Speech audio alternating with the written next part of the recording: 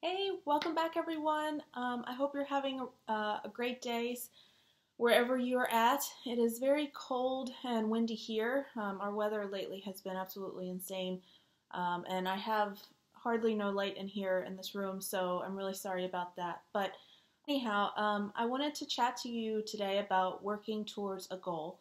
Um, we have all heard that patience is a virtue, but if you're anything like me, you know that patience is a really, really hard thing to master. Um, so as I've hinted to on previous videos, I do have two horses that I ride competitively. Uh, we do something called barrel racing. Uh, so this is a video of me on one of my horses. Um, this was taken a few months ago. Uh, this is a super fun sport. Basically, just run as fast as you can around the three barrels, and fastest time wins.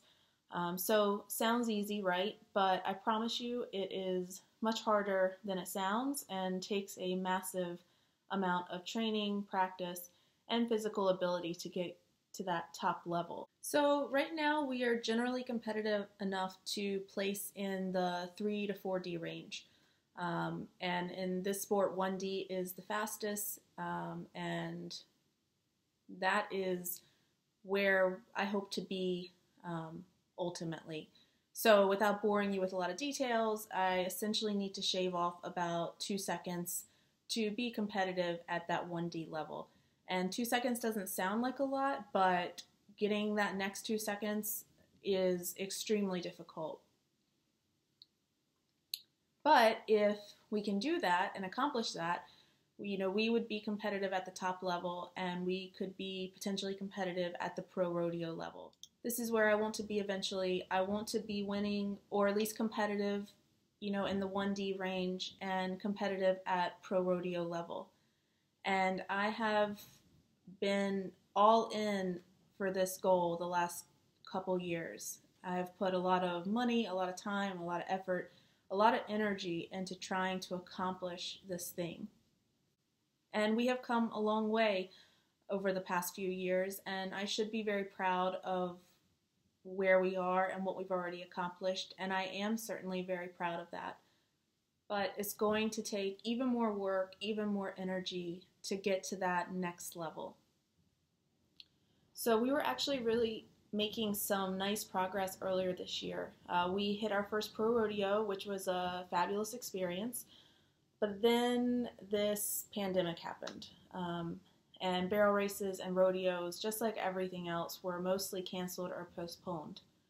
For me, what we need to work on is competing, riding well in new arenas, getting used to rodeo environments, etc. We need to put some miles on our tires, if that makes sense. So, with competitions halted, it really halted a lot of the things that I needed to work on and really stalled our progress. So, this brings me to this weekend. So some places are starting to open back up barrel races with social distancing precautions. And today there was one about two hours from here. And I was so excited to go there and to make a run after two months of not being able to.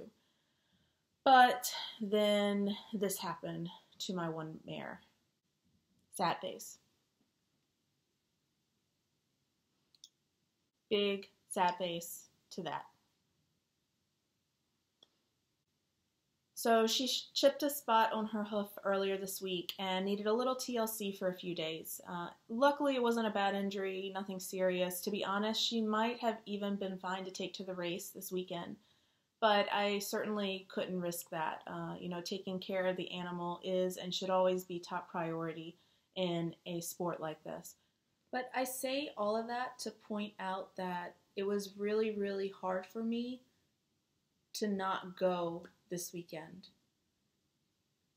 When we get focused on something that, and when we want something so bad, it's easy to be impatient until we make that thing come to fruition.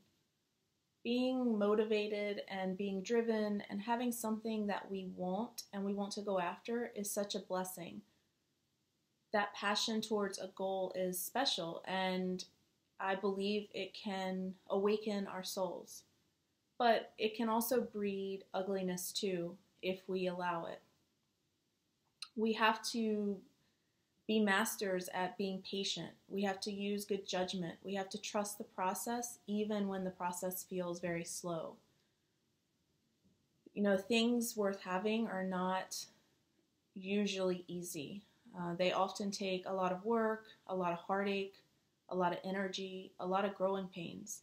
And slow and steady is often the fastest way, even when it feels like the waiting and the process is endless.